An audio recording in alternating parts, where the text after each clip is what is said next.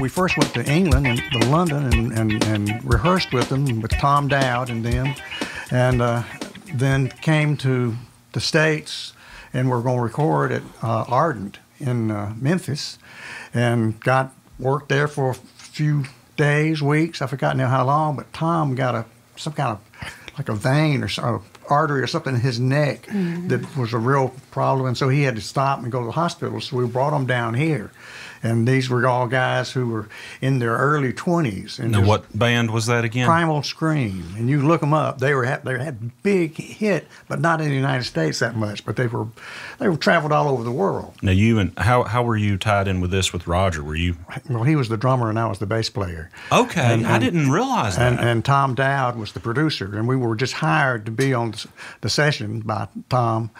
Tom was the producer uh, to play on these things, and so we cut, I bet, close to well over 20 songs, 20 tracks. And they had, they had a lot of money behind them, big uh, English record label and everything. And um, they we recorded all this stuff, and then when we finished, they let uh, who's the guy that did Funkadelic and uh, uh, George Clinton? George Clinton. They let, they, they let George Clinton take over part of it, and somebody else, and they passed it around. And when they got through with it, and I heard it when it came out, I thought, God, I don't even recognize this shit. I mean, there was some of the songs I kind of recognized, and some of the note music I could kind of recognize, but it just was totally changed. A good friend of mine out in L.A., uh, Corey Jacobs. He's a he's a real funk keyboard guy. He played on. I'm not sure if it was Beyonce's most recent record, but he played on that, and he he just got a cut um, on P Funk's new Wow. thing. So Yeah. yeah. Anyway, random. So Yeah. you were were you guys official members? No, we were Primal hired. We were Oh, okay, hired to so you play were- on it. You know, we're session players. We were hired to play on this, and they, they, Tom was a great record producer, and uh, he uh, was hired to produce it, and he Right. picked us to play on it. And so we spend all we spend about two and a half weeks in London at a studio rehearsing with them, and then come don't record anything other than just rough, and then come over to Ardent in Memphis to record it. And then he has to stop because he has this medical problem. So I bring him down here, and there's these wild young Scottish guys in Muscle Shoals, and they are bored, and they are all in, into heavy into drugs and drinking and partying and everything. And they and so we bring them here and and uh, to get up to get them out of Memphis, just to get them away from temptation. And somehow they could find temptation or pro- things to get into anywhere. So we we brought them down here and let them hang out for a while, and then uh, go back to Memphis and rec- record the whole album. But what I'm getting to is that's been 25 years ago. Uh, they contacted me last spring and said, uh, for the 25th anniversary of this uh, album, we're going to meet at Sun, uh, uh, Sam Phillips studio in Mem- in Memphis, and be interviewed. And we're doing a documentary about all this and everything. And they, Jeff Powell was the engineer with uh, Tom Dowd. He found mixes that he made 25 years ago and played them, and they're fucking great. And it sounds like a rock band with Roger and I playing on it. So you were And talking they're- about the George Clinton thing. It's the same project, this is the stuff it, it- before he got hold of it. It is great, and they have put it out. now I want to listen to both mixes. Yes, and, and, Sony. and- well, the, the, the, the only mix I have of that, what he did, is on a CD. You know, it, it was out. You know, it came That's out as gotta a, be on an album. But but now they've just put out. They're putting out the.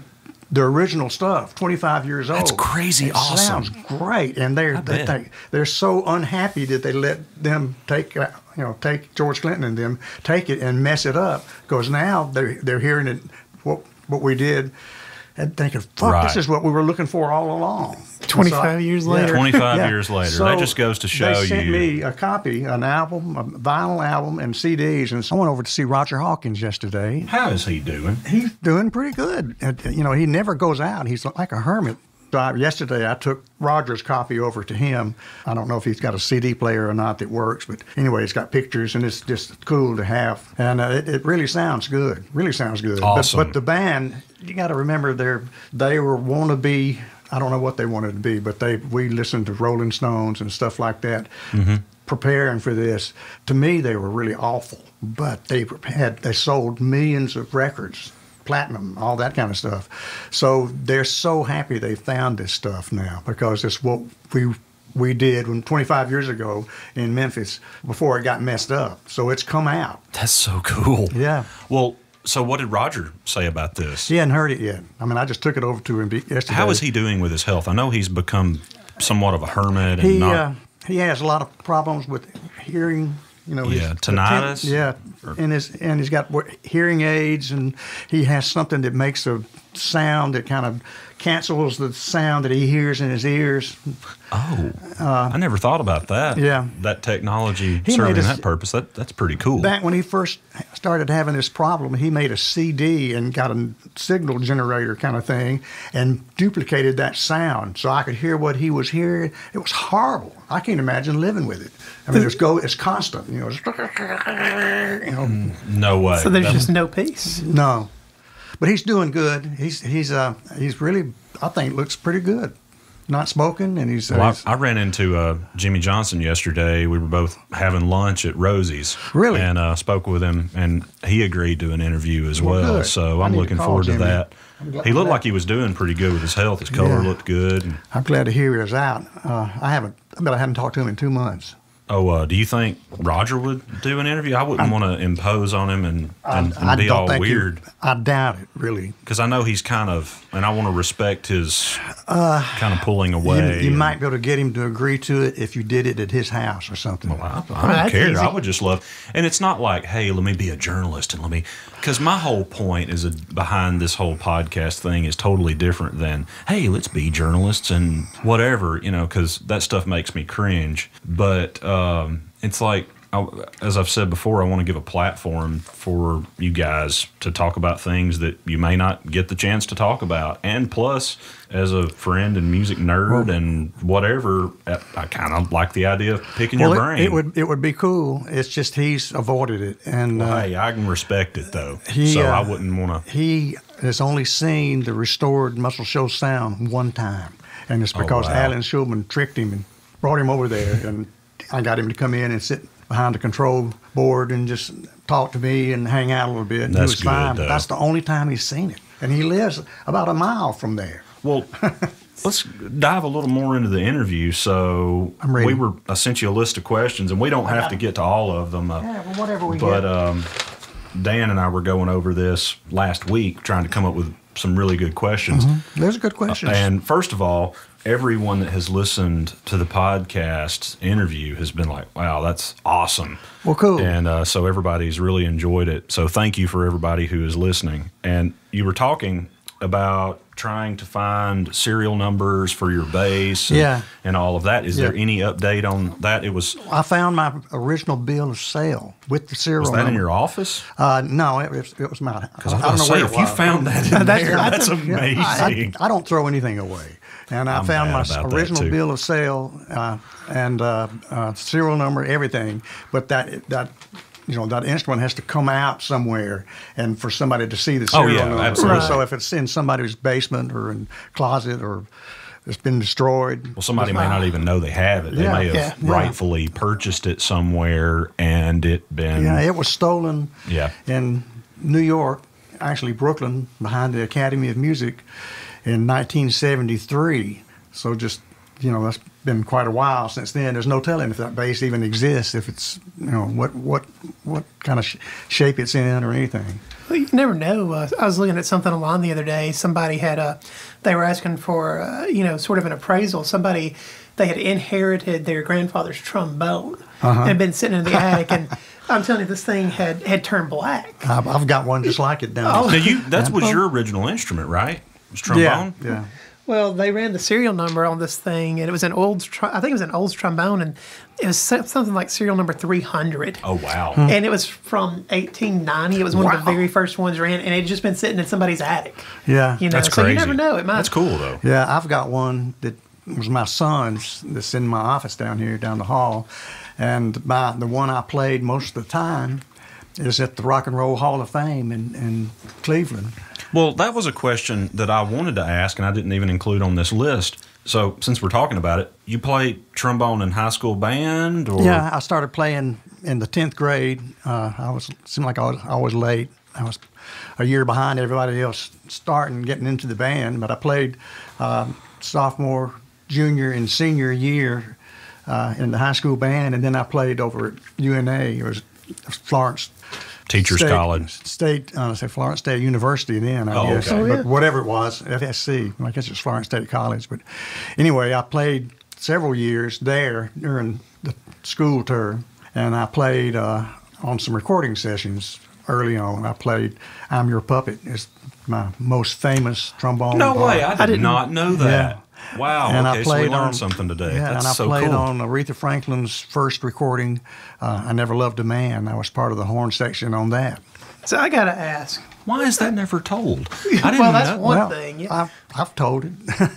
Well, I, I, How do you give up I your horn? I, I understand. You know, it's, it's well, well, you can make more money playing the bass guitar than you can playing trombone. Well, that's fair. But I, I guess I mean, how do you how do you give it up to a museum? You know. Uh, they were when they first formed the, were trying to form the Rock and Roll Hall of Fame. They were looking for stuff. Sure. And they came down here and interviewed people and went to the studios and everything. And I told them what I had, and they said, "Well, well, we'd love to have that." So they have it. Well, that's really cool. I mean, but I it's not on display. I don't think it was. It was part. Supposed to have been at the time. Supposed to have been part of the Aretha Franklin exhibit. But I, when I was up there, I didn't see it. Well, I find that really interesting because we went to high school together, Dan and I, Oh, and well, middle school too. But he plays trumpet, and you play a little trombone, Play a, and, little, and a little everything. a at little this bit. Point, You're kind of a utility guy, Yeah. but started playing bass, and I find that interesting. Well, Um, you know, there's a lot of trombone player, a lot of bass players that started on trombone. Well, I, that was one thing I wanted to ask: is do you feel like, in in what way would you feel like that contributes to your bass the, playing? the if any? trombone in a, in a in a band band situation plays a supportive role to the trumpets that play the melody. The trombones are more of a It's as much the glue. yeah. It's, uh, like it's a not like, bass is it's in not like rock the band. bass so much, but it's a support instrument. Right. And uh, I always liked that part. I, I wanted to play cornet at first, and my lip wasn't right, so I switched to trombone. And I got thought, wow, I love this. I, I like trombone better than playing trumpet or cornet. So Do you ever play it anymore? no, no. Well, why bass? I mean, what is it that drew it drew you to bass so much? Well, I wanted to play uh, play music. I had friends that were getting in bands, and I was uh, like trombone and everything else. I was a little bit late getting started, and everybody else who was playing drums or or you know everybody wants to play either the drums or guitar. And uh, by the time I came along, everybody that I was would be working with uh, were already doing it and better. And I thought, well, I'll play the bass. And uh, it was the correct thing for me to do because I've, I've gotten where I, I, I love playing the bass and I like the parts. It's neat, and it's really a lot of skill and a part that the more I've, especially the more time I've spent in studios, the more I've respected the bass player's role because you guys hear things that no one else hears uh, from from what I see. You know, like- you don't notice the bass a lot until you turn it off or mute it. Yeah, exactly. exactly. It's kind of like a good background vocal a lot of times. If you push mute, you may not know it's there, but you push mute, you're like, even a novice, somebody who knows almost nothing about music, will be like, something's not right. What's wrong? Did my stereo break? You know? Yeah. But yeah, I find that interesting. Like, you guys David are kind of a Hungate, who bridge was a between. great drum, uh, bass player and was Cher's band leader at one time, and his everything played uh, bass with Toto. He started on trombone, oh, really? Yeah. Well, there you go. but I've, I've run into more bass players that started on trombone. Well, you know, That's interesting. Yeah, I, I guess like you say, it has a similar musical role, and trombone's really good ear workout because you're Yeah. adjusting that slide to you know get the get the intonation right. It's, right. I don't know if I ever mastered it, but I did it. I don't think anybody ever does. Charles Charles Rose is great. Oh, he's incredible. So, I guess moving down the list of questions, what recordings that you've been part of are you the most proud of? Obviously the ones that are hits that everybody knows. Right. Uh, I mean, that you're, has you're proud of that. thing, but, uh, but- I mean, I've, I've played on a lot of things. You know, we just lost Tony Joe White. I played on several of his recordings, and it was not spectacular parts or anything, but I just I, I loved the stuff I did with Tony Joe. I don't know. Uh, maybe not. Maybe something that's not as well known. yeah, uh, I mean, people think of Polk Salad Annie when Yeah. they think about Tony Joe White, but Rainy night in Georgia, yeah, though. but he was a great. uh, incredible. yeah, Yeah, he, he's a heck of a songwriter and somebody I'm kind of ashamed to admit I wasn't hip to his music beyond Polk Salad Yeah, oh, Annie's yeah. until like a year ago. great player, great guitar player. Oh, got his own style. Great singer. When he plays, uh, I, I played. Of course, I played bass with him, but uh, when he would travel and play out, he just be him and a drummer because he way he plays the guitar. Mm-hmm. There's so much low end there. He doesn't need a bass. Well, and he's got that really deep voice Yeah. too. You gotta like, you know. I played. I played a lot of places with Tony Joe at the, the Barbican in London. Um, just he was on the show, and Mavis Staples was on the show. Uh, Donnie Fritts was on the show. It was a hell of a Oh, show. wow. It was a really good show. You were talking about what was the name of the band again that you mentioned? Primal Scream. Okay, so yeah, we have to all check out Primal yeah, Scream. Yeah, you have to look them up. They they were really big about 25 years ago, mainly in Europe, but they went everywhere. I mean, they were a big international band. We we just didn't. You never heard them around here. Now I'm curious. I got to Yeah. check them out. Well, they had a one album called Screamadelica. They had one album I, I can't remember the, the name exactly, and it's, it's the one I played on. But they had a Confederate flag on it, and just you know, just they were just wild young Brits, Scots. British people with a Confederate flag on their album cover is an interesting concept. Well, they thought it was. I think they thought it was uh, being real punk or rad. Well, or that's yeah, it's definitely punk. I mean, that's uh, very rebellious. Uh, so I, I, that's interesting. Something I've always been interested in is your days in traffic. You and Roger Hawkins were in that, right? Yes. So, um, of course, you did your few years with the Waterboys, being on tour with them in Europe. And so, I mean, I know that's two separate projects, but would you be Sure. cool to share uh, a little bit of that? Well, the uh, the reason I started, we started working with Traffic is we were recording with uh, for Chris Blackwell of Island Records. We were doing a lot of recording uh, with Jimmy Cliff and, and other artists, uh, and uh, in particular Jim Capaldi, who was one of the members of Traffic on his on his solo stuff. And uh, when Traffic had recorded. Uh, Low Spark of High Heel Boys, they fired their bass player and drummer because of substance abuse and things like that. So they needed a bass player and a drummer to go out and play, you know, support that when they first when they put that album out. And they had heard the stuff we Roger and I had done with Jimmy Cliff and on Jim Capaldi's stuff. They said, "Let's get them." And so they came down and we rehearsed maybe two days and hit the road. And uh, at first, it was very scary and very difficult in that the songs, a lot of the songs were like 10, 10 to 20 minutes long, long, but they'd only have two or three chords in them. so it was a lot of the same stuff over and over and over. And I'm used to, used to playing things, you know, songs that are three minutes long. Yeah. And so I, I play everything I know in three minutes. So what, you know, what do you do on a song that's that long? And some of them really were 20 minutes long. Uh, but I, I got into it and enjoyed it and it uh, there is a relationship somehow between uh, playing with traffic and playing with uh, uh, the Waterboys, in that they're, for one thing, they're both from the UK, uh, and uh, it's just a different kind of music. Traffic was kind of a jazz rock kind of thing, and the Waterboys that a little bit, but with an Irish flavor. And uh, and some of the songs that Traf- uh, the Waterboys did were kind of difficult in the same ways that Traffic was. Took a lot of concentration. a little bit of jamming kind of Yeah, going on. Not so much jamming, but just complicated chord changes that don't didn't seem to make sense at first. Uh, and things that you just wouldn't do naturally. You had to learn them to, to do them. So just not intuitive at all. So you No. couldn't go on autopilot. No, not not at all. In fact, I tried and it didn't work. So how was that coming back to do sessions after doing that? I Well, mean, it was- was there was something kinda- Uh, you pulled from that, or was it kind of a relief? Or I, don't mean, know. what we, do you, you? know, I'm, obviously I'm a professional musician, and that was a, a, a way to make some money playing. And, and Do you feel like I- it challenged you? I guess is. Oh, it de- definitely a mean, challenge. like- That's why I went this last time. I was 70 years old, going out That's on the road awesome. with a with the with a rock band like the Waterboys. I, I I had to really step up my game and also build my stamina and and everything. Uh, but I just wanted, and I, I'd never really been out on the road that much. I've been out with traffic, and then about 20 years later, I went out with some blues artists in, in Europe, and then about 20 years later, something else. And so So when you're 90, you're, you're going to have to find I'm another going out British with somebody, band. yeah. That's awesome. I mean, totally. I mean, I, I, I hope that when I'm in my 70s that I'm doing like that because I I know I'm in my plenty of people. I can sit up. Well, well right.